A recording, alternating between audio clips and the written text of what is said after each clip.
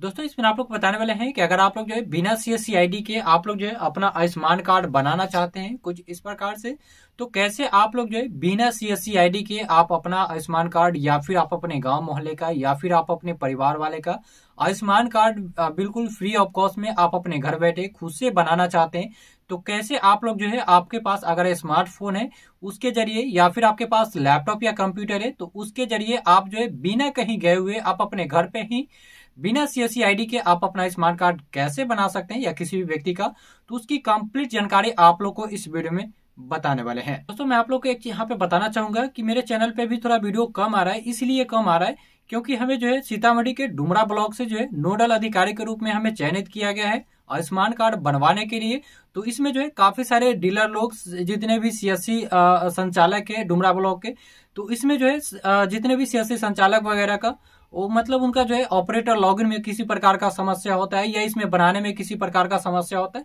तो उसके technical problem को जो है हमको दूर करने के लिए रखा गया तो इसी के कारण जो है थोड़ा वीडियो मेरा जो है लेट आ रहा है, ठीक है? मतलब जो है टाइम टू टाइम अपडेट कोई भी चीज़ का नहीं दे पा रहे हैं। तो इसके लिए सॉरी तो चलिए जानते हैं फ्रेंड कि कैसे जो है आयुष्मान कार्ड बिना सीएससी आईडी के आप लोग जो है कैसे खुद से बना सकते हैं। और डाउनलोड भी करना आप लोग को इसी वीडियो में बताने वाले हैं।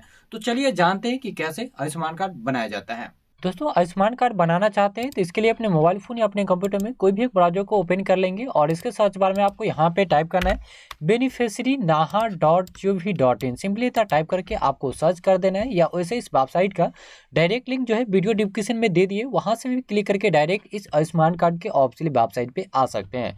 इस वेबसाइट पर आने के बाद आप लोग जो है आयुष्मान कार्ड कैसे बनाएँगे? तो इसके लिए सबसे पहले आपको इस पोर्टल में जो है लॉगिन होना होता है, ठीक है? तो लॉग आप जो है कैसे होंगे देखिए, फिर मैं आप लोग बता दूँ।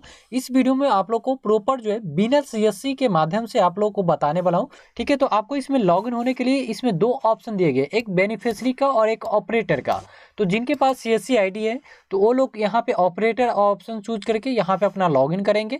ठीक है, अगर जिनके पास सी एस आईडी नहीं, कोई चीज़ का यहाँ पे बिना सी एस आईडी के बनाना चाहते हैं वो लोग तो यहाँ पे क्या करेंगे, यहाँ पे जो है कोई सा भी एक मोबाइल नंबर इसमें टाइप करेंगे। ठीक है, चाहे कहीं भी वो नंबर रजिस्टर्ड हो या ना हो, उससे कोई माने मतलब नहीं है। ठीक है, कोई भी मोबाइल नंबर टाइप करके यहाँ पे वेरीफाई ऑप्शन आ जाएगा, इस पर क्लिक करेंगे। उस मोबाइल पे जो है ओटीपी चला जाएगा, जो ओटीपी आपको यहाँ पे फिल करना पड़ेगा। यहाँ पे जिस प्रकार से ये कैप्चा कोड लिखा रहेगा, ये इसमें फिल करेंगे। इसके बाद लॉगिन पे क्लिक करेंगे। जैसे आप लॉगिन पे क्लिक करेंगे, ये जो है पोर्टल लॉगिन हो जाएगा और कुछ इस प्रकार से आपको इंटरफेस आपको देखने का मिलेगा।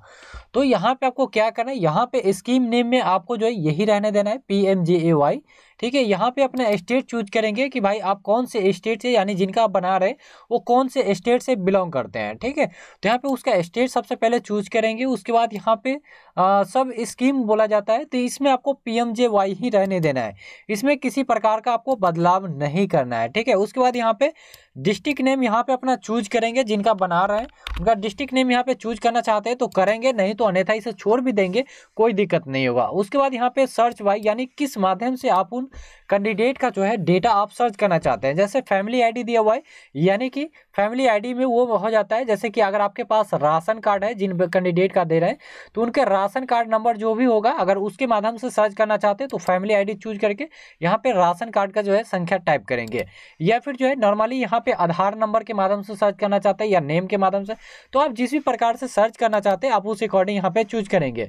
जैसे मैं यहाँ पे अपना आधार नंबर यहाँ पे मतलब चूज़ किया और यहाँ पे जो है, जिन कैंडिडेट का बनाना है, उनका आधार नंबर इसमें जो है फिल कर देंगे।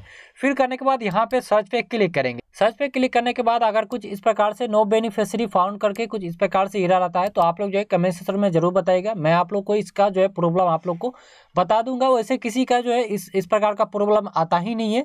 वैसे ही लोगों का जो है इस प्रकार का प्रॉब्लम आता है, जिनका राशन कार्ड में नाम नहीं होता है। ठीक है तो अगर आप लोग का भी आता है तो कमेंट सेक्शन में बताइएगा। चलिए, यहाँ पे मैं फिर से यहाँ पे जो है आधार नंबर टाइप करके यहाँ पे सर्च कर लेता हूँ। जैसे सर्च पे हमने यहाँ क्लिक किया सर्च पे क्लिक करने के बाद यहाँ पे देख सकते हैं, उस बेनिफिशरी का जो डिटेल है, यहाँ पे आ चुका है, ठीक है? तो यहाँ पे जो है, अब इसमें जो है, देख सकते हैं, यहाँ पे सारे लोगों का जिनका मतलब पहले बेनि मतलब आयुष्मान कार्ड लिस्ट में नाम नहीं था, वैसे सारे लोगों का भी जो है आयुष्मान कार्ड लिस्ट में अब नाम आ चुका है, बिहार सरकार के थ्रू यहाँ पे। देख सकते हैं, ये जो है, ऐड किया गया है। तो आप लोग मतलब जितने भी लोगों का है जिसका राशन कार्ड में सिर्फ़ नाम होना चाहिए, जैसे यहाँ पे जिन भी व्यक्ति का आयुष्मान कार्ड आपको बनाना है, उसके नाम के सामने यहाँ पे ई के का एक ऑप्शन आता है। तो इस ई के ऑप्शन पे क्लिक करना है। मैं आप लोग एक चीज़ यहाँ पे बता दूँ, यहाँ पे जैसे जिनका मैंने डिटेल सर्च किया है, इसमें जो है, इनके राशन कार्ड में मतलब चार व्यक्ति का नाम है तो यहाँ पे चारों का नाम आ चुका है। ठीक है, इसमें से देख सकते हैं, यहाँ पे दो व्यक्ति का यहाँ पे वेरीफाइड है, यानी अप्रूव्ड है। दो व्यक्ति का यहाँ पे बन चुका है, ठीक है? तो यहाँ पे जैसे जिनका भी बनाना है तो उसके नाम के सामने यहाँ पे क्या करेंगे? यहाँ पे एक्शन वाले बटन में आएँगे ई के का ऑप्शन है। इस पर क्लिक करेंगे क्लिक करने के बाद अगर उनके राशन कार्ड में आधार नंबर लिंक होगा तो यहाँ पे उसका कुछ लास्ट अंक दिखेगा और बाकी शुरू का हाइड होता है। तो वेरीफाई करने के लिए यहाँ पे वेरीफाई ऑप्शन पे क्लिक करेंगे यहाँ पे कुछ टर्न एंड कंडीशन आएगा। इसको एक्सेप्ट करेंगे अलाउ पे क्लिक करेंगे। अब यहाँ पे ऑन्थिकेट मोड पूछा जा रहा है, यानी कि आप इस कैंडिडेट को किस प्रकार से वेरीफाई करना चाहते हैं। अगर उन कैंडिडेट के जिनका बना रहे हैं स्मार्ट कार्ड अगर उनके आधार कार्ड में मोबाइल नंबर लिंक है तो यहाँ पे आधार ओटीपी के ज़रिए भी आप वेरीफाई कर सकते हैं। या कैंडिडेट उपलब्ध है तो आधार फिंगरप्रिंट के माध्यम से कर सकते हैं। अगर आप यहाँ पे आधार फिंगरप्रिंट हम चूज़ कर लेते हैं। तो यहाँ पे फिंगरप्रिंट में जो है लाइट आ चुका है, यहाँ पे देख सकते हैं। तो अब यहाँ पे कैंडिडेट का जो है फिंगर यहाँ पे ले लेंगे, ठीक है? बायोमेट्रिक यहाँ पे कैप्चर सक्सेस हो, हो चुका है यहाँ पे देख सकते हैं लाइट मतलब जो है तो यहाँ पे फिंगरप्रिंट जो है सक्सेसफुली हो चुका है। तो यहाँ पे किस मोबाइल पे जो है ओटीपी गया है तो जिस नंबर से आप बेनिफिशियरी लॉगिन किए हैं ठीक है तो उसी मोबाइल पे जो यहाँ पे ओटीपी गया है ठीक है। तो जैसे मैं अपना यहाँ पे बेनिफिशियरी लॉगिन किया हूँ शुरू में तो यहाँ पे मेरे मोबाइल पे ओ आ गया तो ओटीपी हमने यहाँ पे फिल कर दिया उसके बाद यहाँ पे ऑनटिकेट पे क्लिक करेंगे। क्लिक करने के बाद यहाँ पे फिर से एक बार जो है फिंगरप्रिंट लिया जाएगा या आप जो है आधार ओटीपी के ज़रिए आप वेरीफाई करें किसी भी माध्यम से आप यहाँ पे वेरीफाई कर सकते हैं तो फिर से यहाँ पे मैं फिंगरप्रिंट ऑप्शन चूज़ करता हूँ। फिर यहाँ पे वेरीफाई पे क्लिक करेंगे एक्सेप्ट करेंगे अलाउ पे क्लिक कर लेते हैं और फिर से यहाँ पे जो है फिंगरप्रिंट में लाइट जो है जल जाएगा। ठीक है तो यहाँ पे फिर से जो है वेरीफाई का मतलब करवा लेना यानी बायोमेट्रिक मतलब फिर से दोबारा से लगवा लेना है। और लगाने के बाद यहाँ पे देख देख सकते हैं, यहाँ पे मेरा कैप्चा फिर से जो है सक्सेस हो चुका है। अब यहाँ पे फिर से मेरे मोबाइल पे जो है ओटीपी भी आ चुका है। तो यहाँ पे जो है वो ओ टी यहाँ पे फिल करेंगे। ओटीपी टाइप करते ही, यहाँ पे कुछ इस प्रकार से फॉर्म खुल करके आ जाएगा। तो अब यहाँ पे फोटोग्राफर बोला जाता है, ठीक है? तो यहाँ पे जो है ये कैंडिडेट अब चला गया है। तो यहाँ पे हम क्या करेंगे? जैसे कि मेरे पास कैंडिडेट उपलब्ध नहीं है तो अब हम ऐसे मतलब कैसे करेंगे? तो यहाँ पे देख सकते हैं, मेरे मोबाइल फ़ोन में यहाँ पे कैंडिडेट का जो है पिक अवेलेबल है। तो हम यहाँ पे जो है मोबाइल से यहाँ पे कुछ इस प्रकार से जो है करेंगे। और यहाँ पे मोबाइल का जो सीन है ना, वो नहीं आना चाहिए इसमें, ठीक है? तो यहाँ पे कुछ इस प्रकार से आपको जो है पिक आपको जो है कैप्चर कर लेना है। तो यहाँ पे हमने पिक ले लिया है और हम प्रोसेस पे क्लिक करते हैं। अब यहाँ पे फ़ोटो जो है अपलोड हो चुका है। अब यहाँ पे क्या करेंगे यहाँ पे मोबाइल नंबर पूछा जाता है यहाँ पे बोल रहा है कि आप मोबाइल नंबर इसमें देना चाहते हैं ठीक है अगर आप देना चाहते हैं तो यस पे ही टिक करके यहाँ पे मोबाइल नंबर अपना फिल करेंगे नहीं तो यहाँ पे नो पे क्लिक करेंगे यहाँ पे मोबाइल नंबर डालने का जो ऑप्शन है यहाँ पे हट जाएगा ठीक है तो यहाँ पे चलिए मैं अपना जो मोबाइल नंबर है यहाँ पे फिल कर लेता हूँ फिल करते हैं यहाँ पे वेरीफाई ऑप्शन आ जाएगा इस पर आपको क्लिक करना है क्लिक करने के बाद यहाँ पे इस मोबाइल पे ओ चला जाएगा जो ओ टी यहाँ पे फिल करेंगे ओ टी फिल करने के बाद यहाँ पे ईयर ऑफ़ बर्थ पूछा जाता है कि यहाँ पे जो आपके आधार पे जो एड्रेस मतलब सॉरी जो डेट ऑफ़ बर्थ है, उसका ईयर क्या है? तो यहाँ पे जो भी है, यहाँ पे आधार के अकॉर्डिंग यहाँ पे बर्थ जो है, यहाँ पे हम चूज़ कर देंगे। वन फोर यहाँ पे जो है बर्थ ही पूछा जाता है, ठीक है? उसके बाद यहाँ पे जो है, ये पूछा जाता है कि फैमिली हेड ठीक है? यानी कि आप जो है जिनका ये आयुष्मान कार्ड बना रहे हैं तो आपके राशन कार्ड के अकॉर्डिंग ये कौन सा व्यक्ति है, ठीक है? तो यहाँ पे हस्बैंड है तो यहाँ पे हम हस्बैंड चूज़ कर देंगे।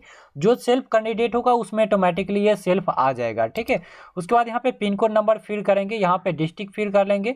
उसके बाद यहाँ पे सब डिस्ट्रिक्ट आ जाएगा तो जो भी आपका सब डिस्ट्रिक्ट होगा, यहाँ पे चूज़ करेंगे, उस अकॉर्डिंग यहाँ पे विलेज नेम आ जाएगा। विलेज नेम इसमें अपना जो है चूज़ कर लेंगे। इसके बाद अब आपको जो है सबमिट ऑप्शन पे क्लिक करना है। जैसे सबमिट पे क्लिक करेंगे, कुछ इस प्रकार से ये लिख करके आ जाएगा E K Y C is complete please download the Ayushman card after same time ठीक है, इस प्रकार से आ जाएगा तो यहाँ पे आप ओके पे आपको क्लिक कर देना है और यहाँ पे देख सकते हैं, अट ए टाइम यहाँ पे अप्रूव्ड हो चुका है। देख सकते हैं सरयुग महतो का अभी हमने बनाया है तो यहाँ पे अट ए टाइम अप्रूव हो चुका है डाउनलोड करना चाहते हैं। तो यहाँ पे देख सकते हैं, इस पर आप डाउनलोड पहले ई के का ऑप्शन आता था, अब डाउनलोड का ऑप्शन आ गया बनने के बाद। तो यहाँ पे इस पर क्लिक करेंगे वेरीफाई फिर से आपको करना पड़ेगा। तो जैसे मेरे पिताजी थे, अब ये चले गए हैं। तो अब यहाँ पे क्या करेंगे यहाँ पे रामपुरी देवी है, ये मेरी मम्मी है तो यहाँ पे इसी के डाउनलोड करके आपको दिखाते हैं। तो यहाँ पे वेरीफाई पे क्लिक करेंगे और यहाँ पे इस पर क्लिक करके यहाँ पे टर्न एंड कंडीशन अलाउ करेंगे, ठीक है? उसके बाद यहाँ पे जो है ऑन्थिकेट मोड में किस प्रकार से वेरीफाई करना चाहते हैं तो अब पहले उस बार जो है फिंगरप्रिंट के माध्यम से बताए थे केवाईसी करना। अब जो है, इस बार जो है, आधार ओटीपी ऑप्शन चूज़ करके आपको दिखाते हैं। आधार ओटीपी हमने क्लिक किया तो यहाँ पे देख सकते हैं बेनिफिशियरी आधार ओटीपी यानी कि आधार से रजिस्टर्ड मोबाइल नंबर पे जो है ओटीपी भेजा गया है, जिनका डाउनलोड करना चाहते हैं, इनके आधार से रजिस्टर्ड मोबाइल नंबर पर तो ओ इसमें फिर करेंगे। उसके बाद यहाँ पे बेनिफिशियरी मोबाइल ओटीपी बोला जाता है। यानी जिस मोबाइल नंबर के थ्रू हमने जो है बेनिफिशियरी लॉग किया है, उस मोबाइल पर भी जो है ओ गया है। तो वो दोनों आपको जो है, जिसमें मतलब आधार वाला आधार में डालेंगे बेनिफिशरी वाले बेनिफिशरी में ओ टाइप करने के बाद यहाँ पे ऑनटिकेट का जो ऑप्शन है, यहाँ पे आ जाएगा। सही ओ डालने पे कुछ इस प्रकार से आ जाएगा। ऑनटिफिकेट पे क्लिक करेंगे और आपको जो यहाँ पे डाउनलोड करने का जो ऑप्शन है, वो आपको यहाँ पे मिल जाएगा। तो अब यहाँ पे जो है, देख सकते हैं, तीनों आदमी का जो है, मेरा बन चुका है। यहाँ पे देख सकते हैं, यहाँ पे मेरे पिताजी का है, मेरा है और यहाँ पे मेरी मम्मी का है। तो जिनका भी डाउनलोड करना चाहते हैं, उस पर यहाँ पे क्लिक करेंगे और क्लिक करने के बाद यहाँ पे उस पर जो यहाँ पे नीचे में जो है डाउनलोड का जो ऑप्शन है, आ जाएगा। यहाँ पे देख सकते हैं, डाउनलोड ऑप्शन आ चुका है तो डाउनलोड पे क्लिक करेंगे और इस प्रकार से जो यहाँ पे डाउनलोड कर लेंगे। देख सकते हैं, ये इस प्रकार से आप लोग जो है अपना खुद से अपने घर बैठे जो है बना सकते हैं। सेल्फ आप बिना कहीं भी गए हुए इस प्रकार से बना करके डाउनलोड भी कर सकते हैं। तो फिर इस प्रकार से आप लोग जो अपना स्मार्ट कार्ड बना करके डाउनलोड कर सकते हैं। और यहाँ पे कुछ लोगों का क्यूरी होगा कि भाई यहाँ पे मेरा स्मार्ट कार्ड बन गया तो अब हम अट टाइम जो है अपना इलाज करवा सकते हैं। हाँ अब बिल्कुल आप जो है इलाज करवा सकते हैं। आप जो है पाँच लाख तक जो है मुफ़्त इलाज आप लोग जो है करवा सकते हैं इस स्मार्ट कार्ड से बनाने के बाद। अट ए टाइम आप करवा सकते हैं। ये कोई नहीं है कि आपको जो है दस दिन रुकना पड़ेगा, पंद्रह दिन या जो है नब्बे दिन ऐसा रुकना पड़ेगा ऐसा कोई लिमिट नहीं है। आपका एक्टिव हो जाता है डाउनलोड मतलब बनने के बाद अट ए टाइम एक्टिव हो जाता है। ठीक है तो आप लोग जो इस प्रकार से अपना स्मार्ट कार्ड बनवा सकते हैं। तो दोस्तों, आप लोग को इस वीडियो में यही बताने वाले थे, आप लोग को ये जानकारी कैसा लगा? अगर आप लोग को ये जानकारी अच्छा लगा हो तो इसे लाइक कीजिएगा और साथ ही साथ अपने दोस्तों के साथ ज़रूर शेयर कीजिएगा। चलिए, फिर मिलते हैं नेक्स्ट वीडियो और नेक्स्ट टॉपिक के साथ। अब तक के लिए जय हिंद।